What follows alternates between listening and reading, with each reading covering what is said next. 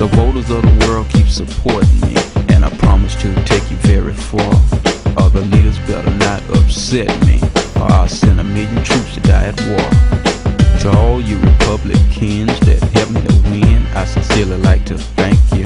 Cause now I got the world swinging from my nuts. And damn, it feels good to be a king.